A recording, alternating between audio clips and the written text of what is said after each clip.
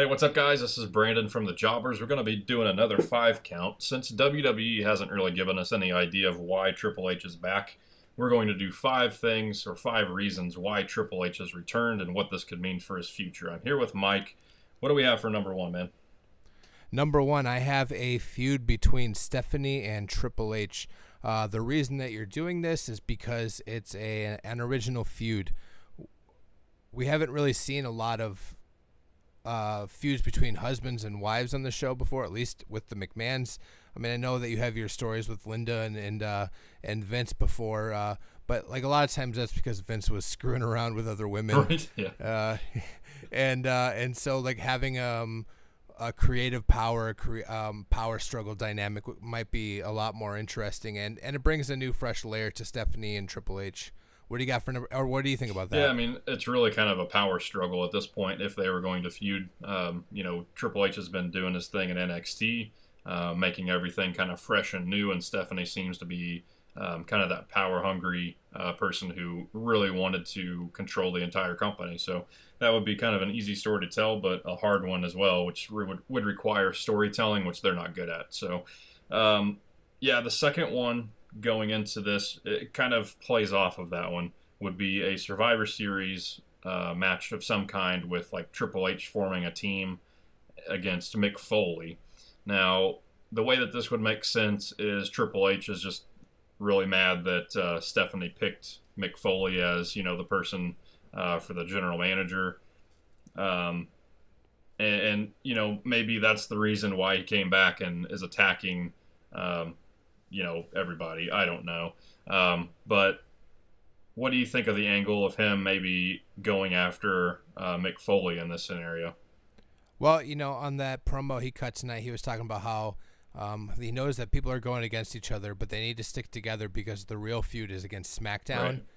and having that uh, tension in Raw kind of would cause Mick to, I think, lose a bolt mm-hmm. And make him go nuts, and that could be a good uh, Team Triple H versus Team Mick at Survivor Series. Um, it, it would allow a really to kind of set the tone of who's going to fight who and and and considering that there's not a lot of storylines going on right now, um, I think that's a, a good time to um, build storylines for guys who might not otherwise be active. Yeah, yeah, for sure. What do we have for the third one there? Um, third one is introduce a new faction to save Kevin Owens during a pay per view.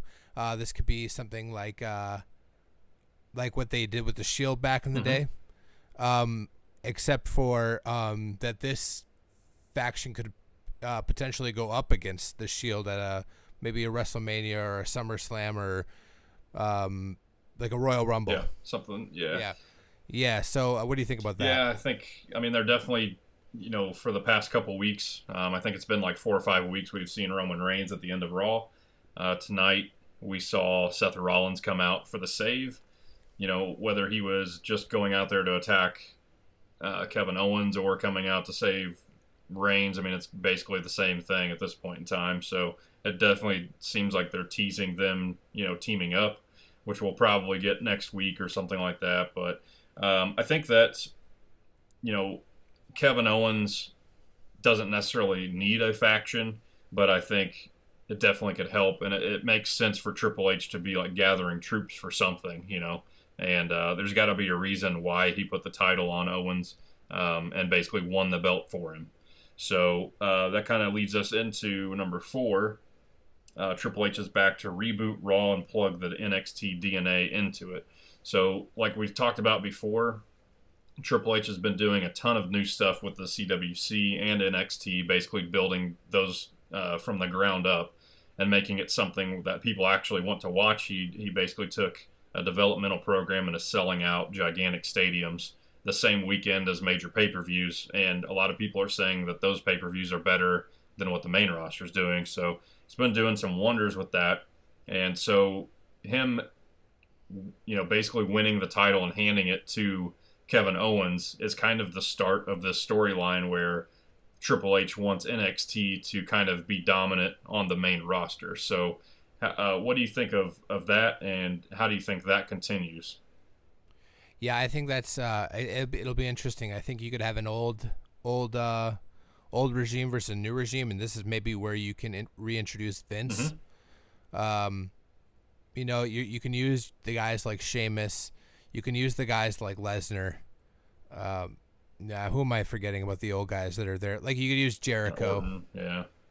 Oh, Orton. Although Orton's on SmackDown, right. so. Well, I mean, yeah. they would, you know, if this is like, this would be kind of transcending what they're doing with SmackDown or Raw. You know, it would really be like an NXT uprising of some kind, and, and that could transcend the division of Raw and SmackDown. You know, like he he wants the NXT people to kind of rule, um, and maybe we see trades or something like that um, for like you know the gathering of troops for something. You know, so it could be um, it could be interesting to see what they do. But I definitely like my first thought, and this was like you know right when we started the podcast like months ago. My my first thought was that they were going to do some kind of like NXT versus WWE kind of storyline. So that kind of seems like where they're going with this, and I, I, don't really know what else that really makes sense, you know.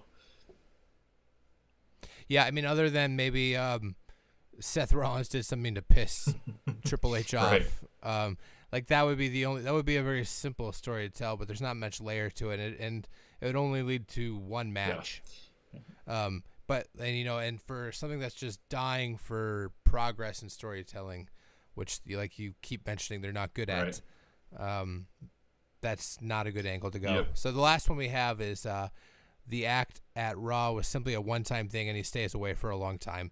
Simply you know uh, he was pissed off at roman for wrestlemania and um, for whatever reason he's got something against seth rollins and you know now he wants ko to be his guy. Yep. Yep, and that's you know, I mean, out of everything that we've talked about, that's the most likely scenario because it's just like the easiest thing to t- to say is like you know, well, Rollins, we gave you chance after chance. Um, you know, you've made zero progress, blah blah blah, whatever. You know, you got hurt, you left us kind of hanging for a while. You were supposed to be the guy. I mean, very HBK esque, you know, in, in storyline. So, um, you know, basically like he fought his way back from injury, came back, and he doesn't want to immediately reward him and go back to the same stuff before, you know. So um, it could be something like that. It could be could be anything, you know. We don't know, and and they're leaving us like we talked about earlier, like no breadcrumbs at all to give us any idea of why he's there. Um, it's been like three weeks since he came back, and we we haven't seen him. We don't know, you know, like the only thing that they're doing right now is just saying like Stephanie has no idea that you know he was going to be there or what his plans were, and that's pretty much it. So, um, you know, it's pure speculation from this point. But um, I mean, do you think that it's going to end up being just an easy explanation, or do you think there's something bigger? Like, what's your gut feeling? Uh, my gut feeling is, is since that attack was such a surprise, there has to be another layer to it, and I think like one the TNA versus NXT storyline, uh, is or not TNA, the NXT versus WWE uh, TNA might be interesting because at that point, uh, like Mick Foley might be deleted. yeah. Yeah. Uh, but uh, yeah, the NXT uh, versus WWE storyline, I think, is the most obvious. Mm-hmm. And uh, like to me, like my gut feeling is that there's going to be a faction of some sort. Uh, you know, for me, I think they got to introduce Samoa Joe somehow. And per- me personally, like I don't know how much longer you can keep the revival down there. Yeah, yeah, and I mean, I think that for Triple H to come back and give the title to Kevin Owens, he would want him to keep it for a while. So he's got to surround him with, um, you know, some like yes men almost. So the revival kind of makes sense there. But I would like to see kind of like a dominant, um, you know, force kind of like evolution or something like that. Like he wouldn't come back and just want to, you know, pit up a bunch of guys that um, you know, are kind of like okay. Um, I would I would like to see like a Bobby Roode and a Samoa Joe, like the big yeah. time guys come up. Um, yeah, I mean Austin Aries seems to me like he could be another one simply because like uh, it seems like he's already being pushed down the totem pole. Mm-hmm. Or maybe he comes up and like you know if they do a dominant faction like Aries comes up and wins the cruiserweight championship or something, like it would basically be that faction wins every title that's available. You know um, and then basically just take over Raw. So and that's that's something that I would like to see, just that dominant force that comes in and actually takes over. You know, like, and you can't do that just with the heavyweight title. You got to do it with all of them.